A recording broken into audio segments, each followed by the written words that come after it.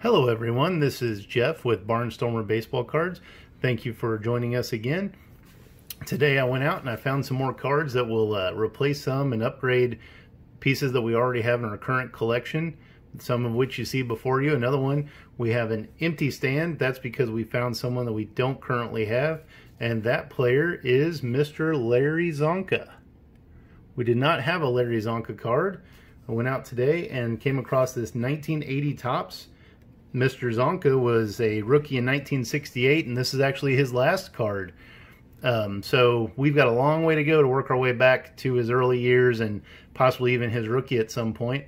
But that's the fun part. I like the chase. We'll give it time, and I'm sure we'll come across one. Mr. Csonka was a two-time Super Bowl champ, including the 1972 Miami Dolphins. They actually won back-to-back -back Super Bowls in 72 and 73, and he was a five-time Pro Bowler and in 1987 he was enshrined in Canton, Ohio in the Pro Football Hall of Fame. Next, we have Mr. Troy Aikman. Most of you are probably familiar with him. He's a three-time Super Bowl champ, a six-time Pro Bowler, and 1997 Walter Payton Man of the Year. In the 90s, uh, they won three Super Bowls, even though our Kansas City Chiefs actually won more games. But today I came out on top because I actually picked up a Troy Aikman 1990 Topps Traded rookie card.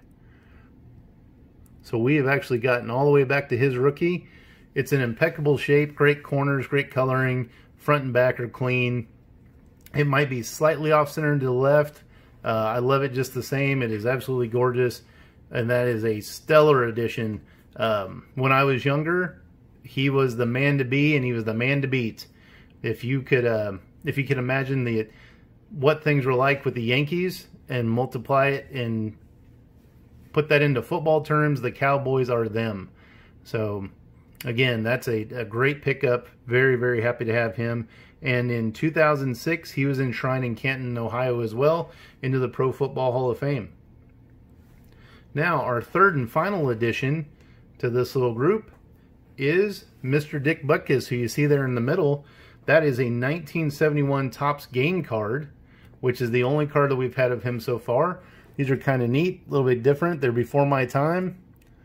They kind of remind you of the 1951 Topps baseball uh, blue and red backs.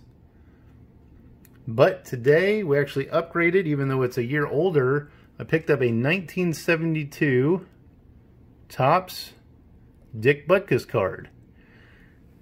I love this card. He's got quite the scowl on his face. Um, he's shown here with the Bears wearing his 51, which was retired by the Bears after his career came to an end.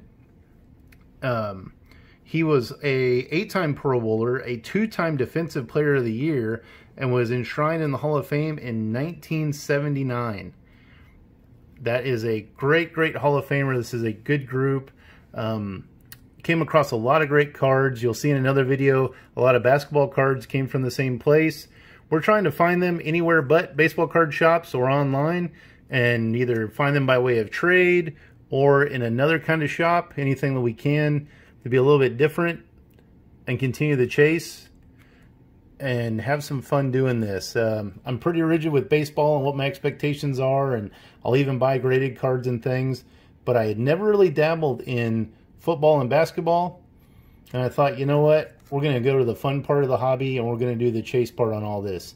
I'd done it with baseball to a certain extent, but when you start to get into the older stuff, um, you've got to kind of go where they are and, and select the grade you want and things like that. So this is a, these are three more great pickups for us.